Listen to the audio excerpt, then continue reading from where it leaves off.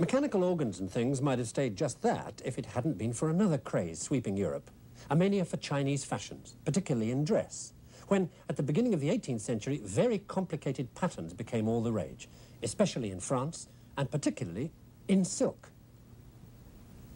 By the beginning of the 18th century, the demand for this kind of pattern was giving the silk weavers of Lyon a real headache. Because silk weaving isn't just the simple over and under business of ordinary weaving, it's much more complicated. I mean, take a look at this.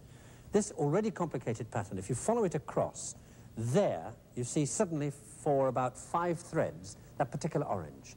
So it comes in, say, at thread 530, and it disappears again at thread 535. Now, if you get that one thread wrong, you've blown it. Let me show you on this little model loom here how they cracked that problem. Every thread runs through a tiny ring on a cord, so that if you want to lift the thread, you pull the cord up, the thread lifts, and in this case, the crossing thread would go underneath and in the final pattern not be seen. Now, if you tie together all the cords for all the threads that you want to lift into one bunch, then one pull will lift them all, like this.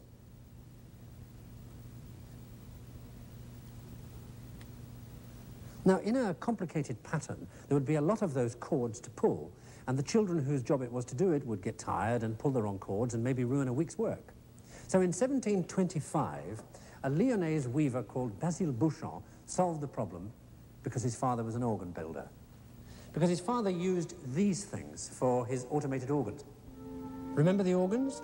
Used the same cylinder with pegs in it to make music as they'd used in Belgium to work their bell-ringing carillon and they'd originally got that idea from the cams set onto the shaft of the paper mill. Bouchon saw that the piece of paper that you give to the carpenter to tell him where to put these pegs on the cylinder was, in fact, a kind of control mechanism. So he put it on a loom. Look, each control cord comes over and down here, and whether or not it's moved depends on this horizontal needle here. Okay, now for the control mechanism part. What Basile Bouchon did was put a roll of perforated paper up against the needles, the cross needles, and where there was a hole, the needles stayed put because they came through the holes.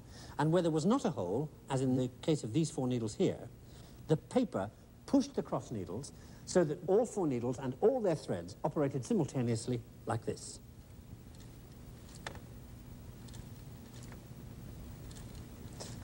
And to change the pattern, you simply move the paper along one row of holes. But the paper tore and the weavers placed it in the wrong position. So around 1740, another weaver from Lyon called Falcon came up with this idea. He put each pattern on a separate card.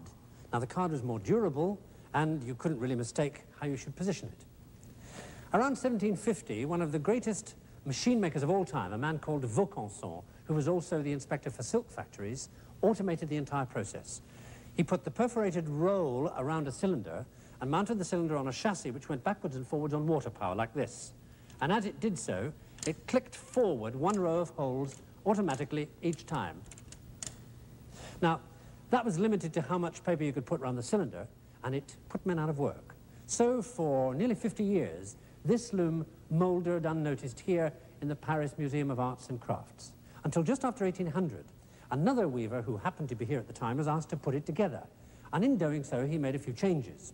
He put Vaucanson's idea together with Falcon's cards and came up with this.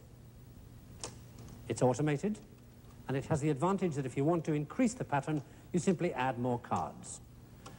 Now, for that minor amendment, he got all the glory, because to this day, the entire concept is named after this man. This is a Jacquard loom. And boy, what a success that was. Well, not in France, because the revolutionaries decided they didn't like fancy aristocratic patterns. But in England, where the loom ended up making things like paisley shawls very popular. And where these cards got picked up for a very different reason.